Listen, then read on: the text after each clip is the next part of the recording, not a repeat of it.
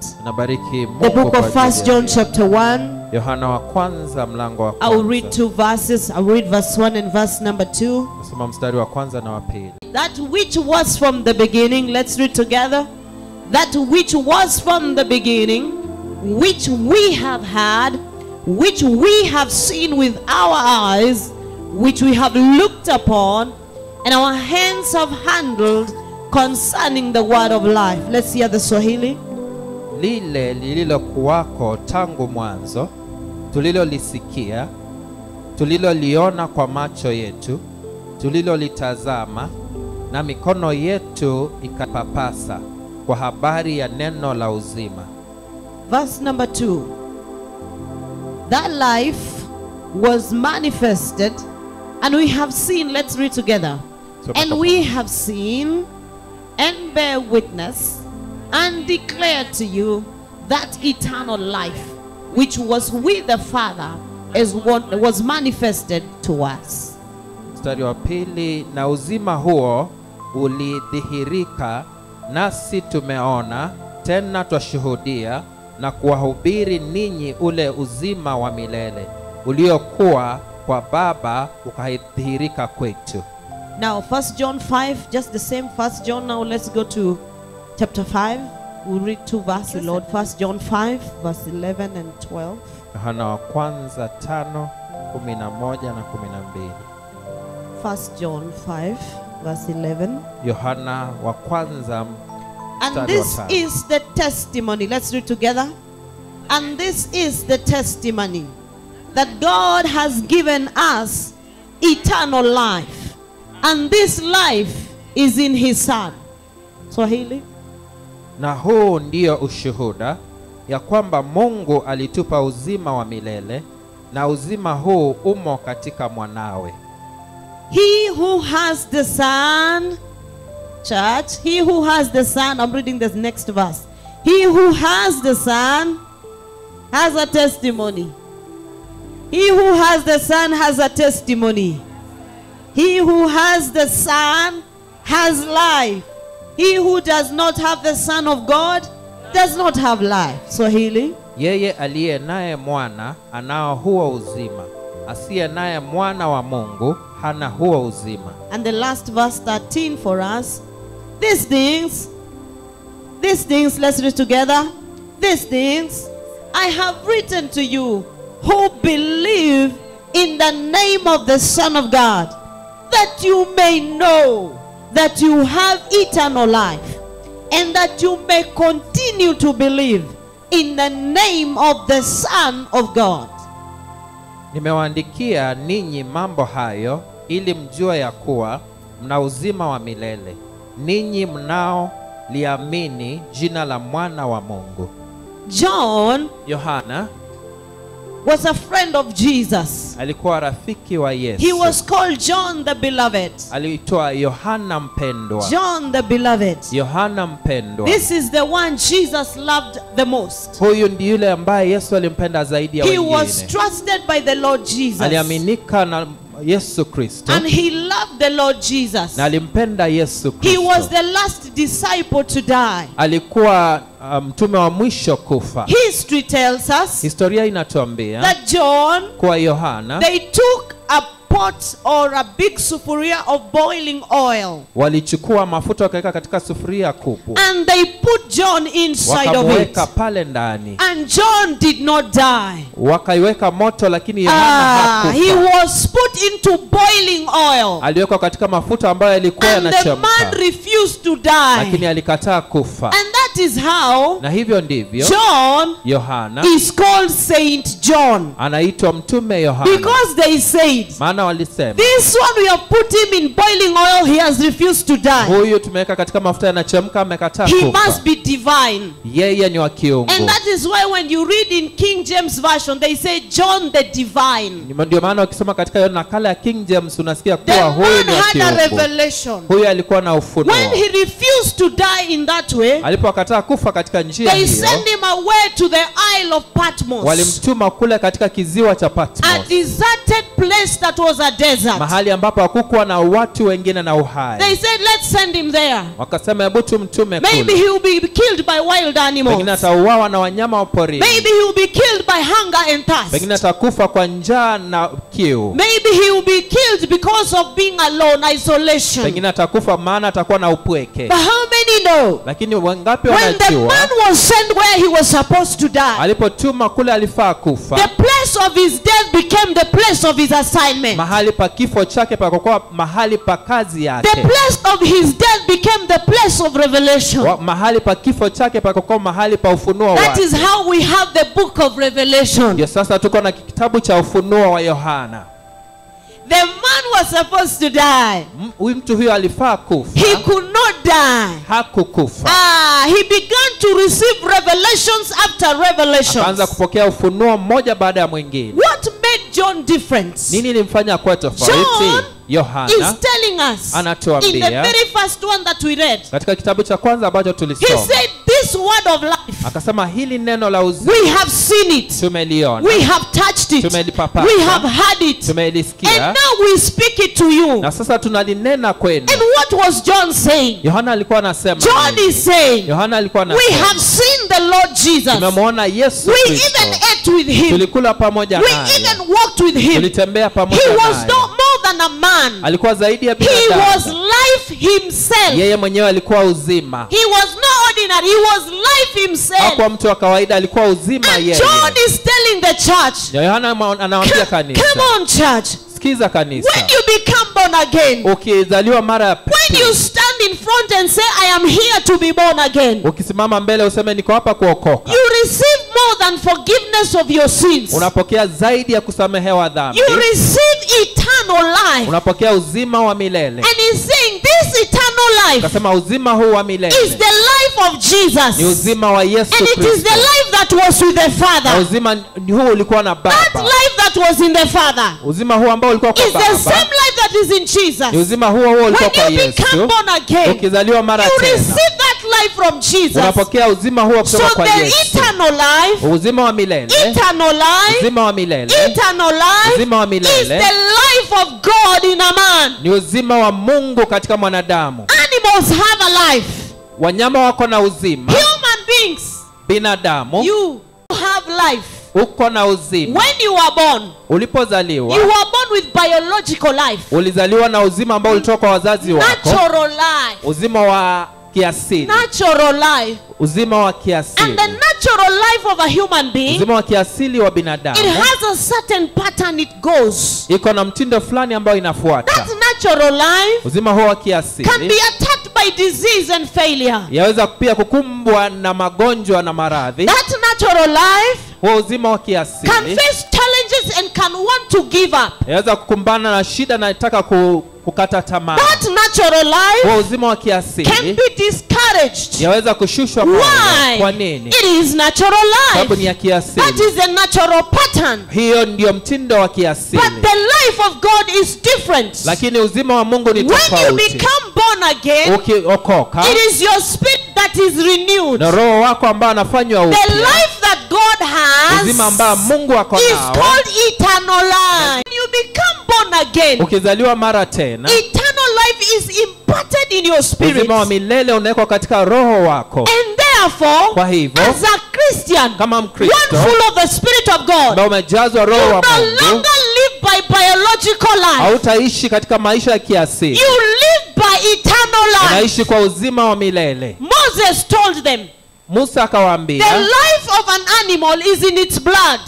uhai ama uzima wa mnyama iko katika damu yake That is true the biological natural life. hiyo ni ukweli kwa maisha ya But kiasili for one that has eternal life, lakini kwa yule ambaye akana uzima wa your life is no longer in your bloodline. u- uzima wako hauko katika Your Damu life yako. is in the word. iko katika neno When you get to know, ukielewa John told us the last one we just he said, I write to you so that you may know. yohana aliandika akasema ninawaandikia ili So muweze may kujua ili muweze kuelewa What kind of knowing is John talking about? ni kuelewa kupi ambayo ananena He's kuhusu anasema You have heard that you have eternal life. umesikia kuwa uko na uzima wa But milele now I want you to have another understanding, lakini sasa nataka kuwe na ufahamu another mwingine. revelation. ufahamu ufunuo This is the kind of knowing huu ni ule kujua. where you know something ambao unajua and now you have a relationship with what you na know. sasa uko na uhusiano na kile ambacho unajua. I want you to have that kind of knowledge. nataka ukuwe na ufahamu huo. When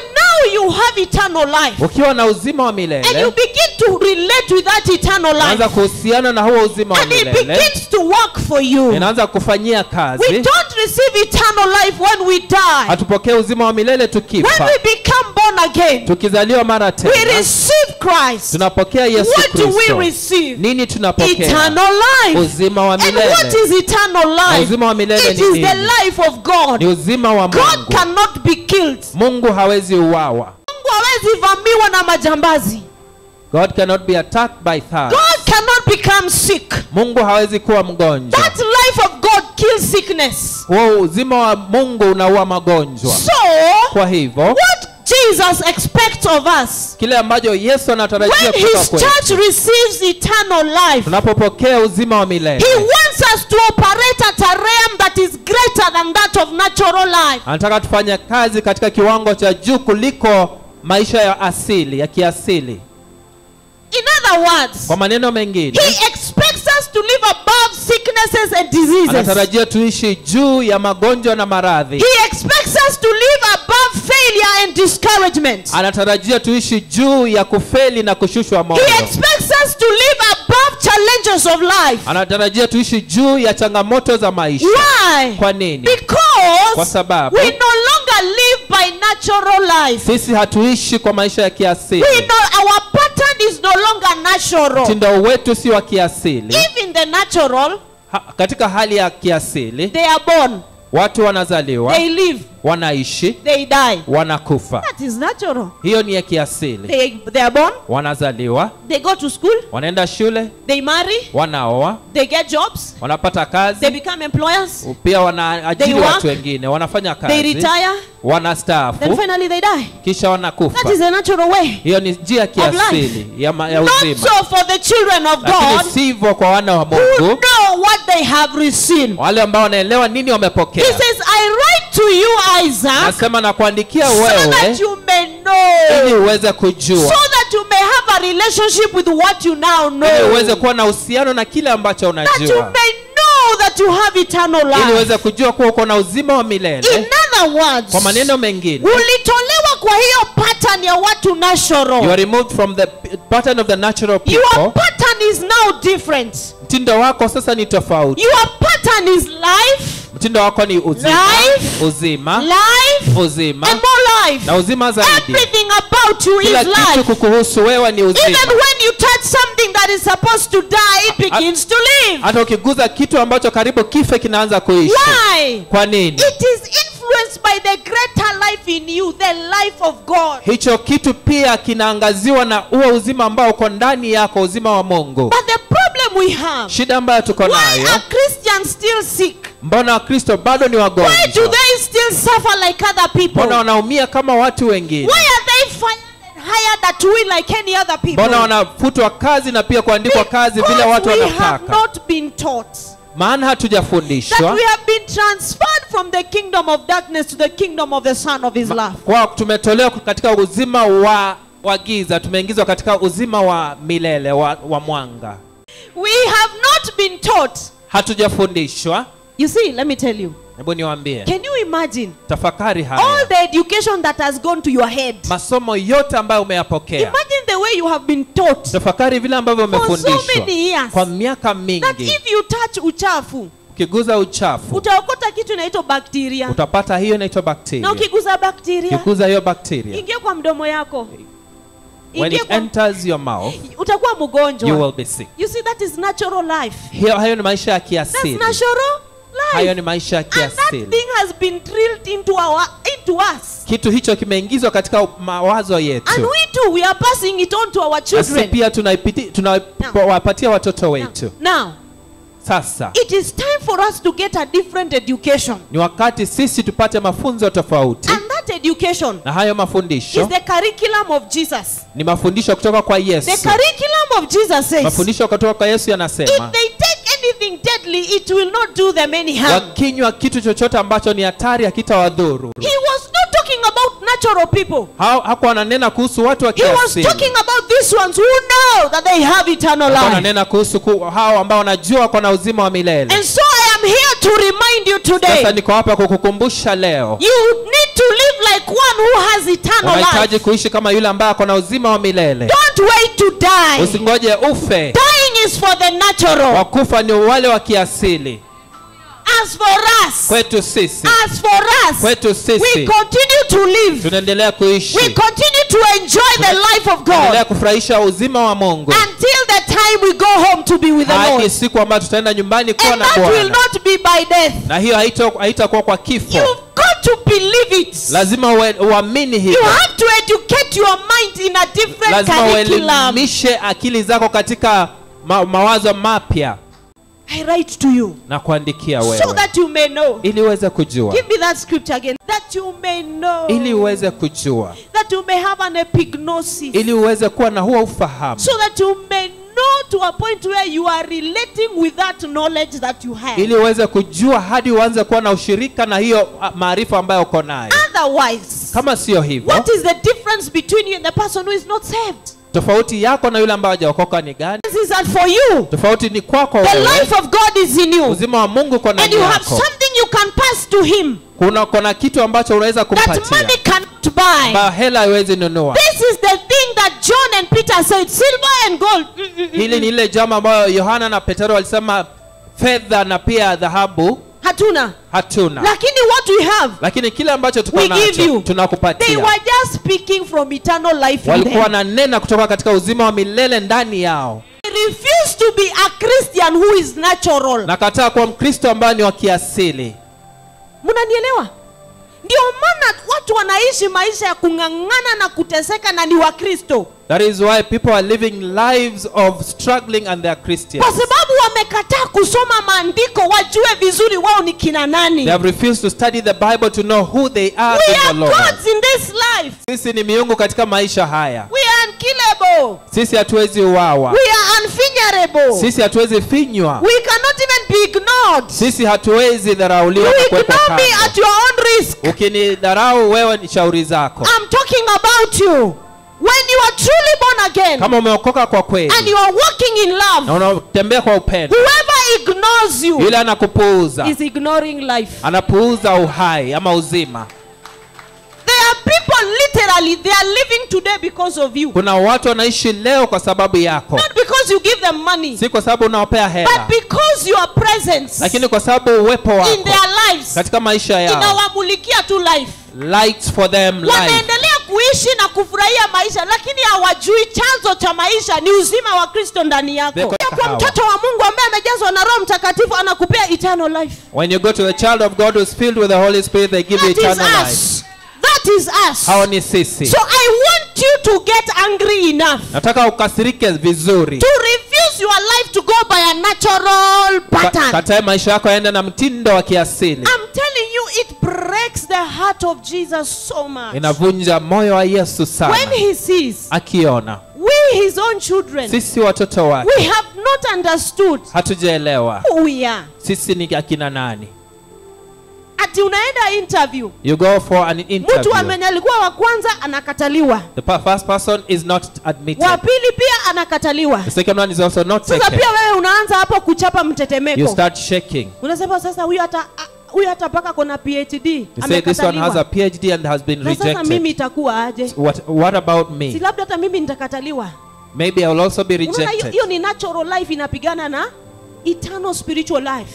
That is natural life fighting with eternal sasa kama spiritual huyo life. amekataliwa na mimi tu niko na ya form 4 itakuwa aje? If they have been rejected and I just have Form you 4 could be having certificate, what will 4 but your form 4 is different. It has god in it. Pengine uko na Form 4 lakini yako iko na Mungu ndani it has god in it. Iko na Mungu ndani and when it is god going before you Na Mungu akienda mbele yako, he opens doors for you that no one can shut. anafungua milango mbele yako, hakuna mtu anaweza funga. but the reason most of the times we do not experience the blessing of god in fullness Lakini sababu ambayo ile baraka ya Mungu kwa utele. tunaamini ya kwamba We believe that. ukiona kichwa cha mwenzako nikamilishie hiyo medhali ukiona cha mwenzako kime nyolewa. Nyolewa, tia chako maji. hakuna. Mimi sitii yangu maji. Ninatafuta shampoo for you who is born si again. kwako ambao umeokoka. if you know someone who has been tamaking for five years Ukijua mtu ambaye amekuwa akitafuta kazi miaka tano, usiingi usijiingize kwa jam yenye hata mungu wako anataka uingie don't get into a place that God does not want you to get into. it is not so Sio hivyo. you have eternal life in Uko na uzima wa milele ndani eternal life yako. in you conquers everything Uzima wa milele ndani yako unashinda kila life in you kitu. kills every challenge Uzima wa milele ndani yako unashinda kila That changamoto. doesn't mean that we will not face challenges. Haimaanishi hatutapitia We will mapito. face challenges, okay? Tutapitia changamoto, ni kweli. Because hata wewe ukienda kwa shule unafanyanga mtihani. When you go to school, you will do an exam. Challenges ni mtihani. Cha challenges are like an exam. So that you will know that your faith is genuine. ili ujue kuwa imani yako ni ya But you kweli, need to you need to start knowing. lakini unafaa kwanza kujua Me, I am different. mimi ni tofauti And what makes me different is not the color of my skin Nini nanifanya tofauti? Si rangi ya ngozi It's is not my makeup. si ile bi- bi- makeup ambayo nimepaka. Na Kiswahili is not my makeup. People does. People does. It's not my makeup. si hivi, It's not my it's not my English. si kizungu changu, Nene. sio hivyo. Eternal life. Ni uzima wa milele, It's eternal life. uzima wa milele, uzima wa milele. We are shareholders in this thing called eternal life. Sisi Majority shareholders. sisi tuko na shares katika hii inaitwa uzima wa milele. Nikienda mahali, When I go somewhere, I know the whole of heaven inajua mbingu nzima is looking and saying, inaangalia ikisema the majority shareholder is representing us. So we better make sure this thing goes well. huyu ambaye ako pale anatuwakilisha So God wants you to succeed even more than you want. mungu anataka uweze kufaulu zaidi ya vile ambavyo unataka kufaulu God wants you to succeed even more than you want. mungu anataka ufaulu hata zaidi ya vile unataka How will kufaulu. they know? je watajua vipi How will they je know? watajua vipi? Sio kujifanya tunajifanyanga tu barabarabara no we have received more than a barabarabara tumepokea zaidi ya ndimi ambazo tunanena. Do you know that we will continue to rule and reign in life by the power of the holy ghost? Je utajua kuwa tutaendelea kuweza ku kuwa viongozi na kutawala kwa sababu ya roho mtakatifu? To rule and reign. Kutawala. Na kutawala tena. Na kuendelea kutawala but the problem is this. Lakini shida ni hii. You are looking at your current situation. Unatazama hali yako ya sasa. and you are saying na unasema but i live in a single house. Mimi naishi katika nyumba ndogo. I only have one small little sofa set. Niko na kiti kidogo tu pale. And i have a small bed. Na niko na kitanda kidogo. And a quarter of a carpet. Na pia mkeka mdogo. And we can't even afford breakfast. Na hatuwezi hata pata kiamsha kinywa. Sasa mimi siria machozi yangu. Ni wewe wajua. Iria machozi. Graduate from that thing.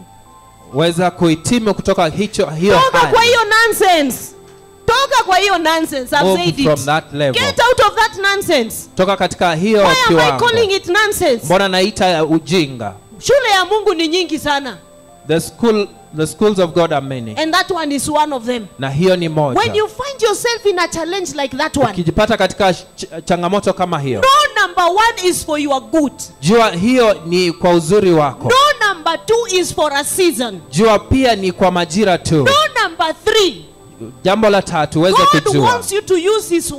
mungu anataka utumia neno lake. change your mind badilisha mawazo and yako work your way out of it. na kufanya kazi utoke katika hiyo changamoto. Hateni kuaibisha mungu you make god look bad. Unafanya mungu anakaa vibaya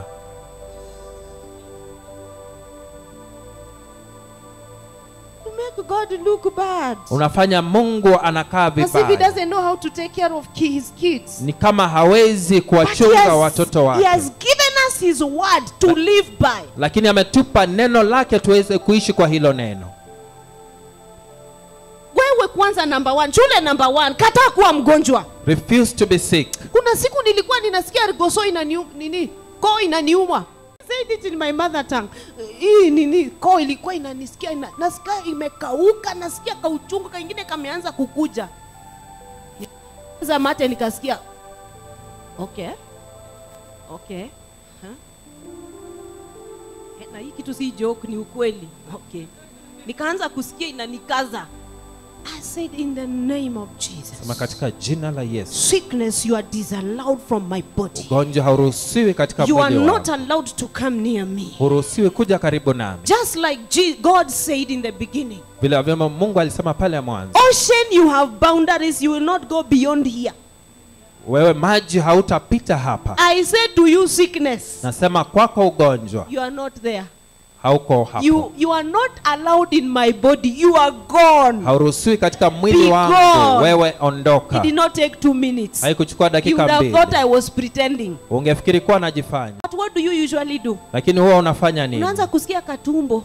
you start feeling pain in the Unaanza stomach kusema nasikia tumbo. Say, Hiyo ni natural life. Nasikia katumbo. i feel pain in my kana stomach nini nini Hey, labda niende nione daktari maybe i go and see the doctor expects you from that. Lakini sasa mungu anakutarajia kuanzia rudi hapo. kwa ile curriculum ya holy spirit. Go back to the curriculum of the holy spirit. Ambayo inasema that says you have received eternal life. umepokea uzima wa milele. it kills diseases in you. ambao unaua magonjwa ndani yako. But it kills diseases when you open your mouth and speak the word lakini inaua hayo magonjwa ukifungua kinywa chako and na you open your mouth every day don't wait for disease to come na unafungua kinywa chako kila siku usingojea maradhi yaje hamjasoma kwa maandiko kwamba kuna sword of the spirit haven't you read in the bible that there's a sword of the spirit It is the only weapon we use to attack. ni silaha pekee ambayo tunatumia So pia you wake up in the morning and say, unaamka asubuhi na kusema Today I walk in perfect health. leo natembea katika afya tele tele Today I walk in dominion. leo natembea katika kuweza ku... Today